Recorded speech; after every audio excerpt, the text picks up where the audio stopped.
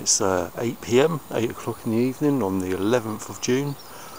This is looking northeast. Started spraying about three or four hours ago.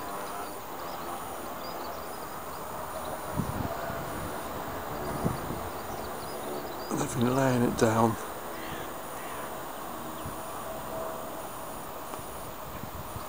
constantly for the last three hours, really spread out trails. As you can see, this is looking up ahead, up overhead. This is south. That was via the east, west rather. Here we are in the east.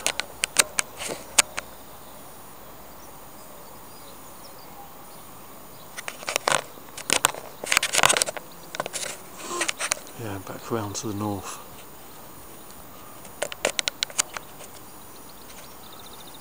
Pretty messy.